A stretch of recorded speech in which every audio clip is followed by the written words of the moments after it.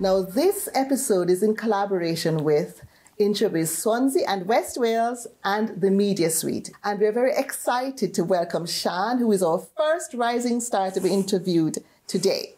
We launched the cosmetic clinic. It's a rundown chapel in Gorseinon that we, me and my husband were renovated for about 18 months. Yes. Um, and it's not just a cosmetic clinic, it's a spa and a well-being centre as well. I remember leaving school and all I, I remember the job I wanted when I was leaving school was to work in Boots. That was my goal. I had, I ended up having my daughter very young and it forced me then to grow up and be independent. Thank you so much for sharing your life with us. You're welcome. Thank you for having me.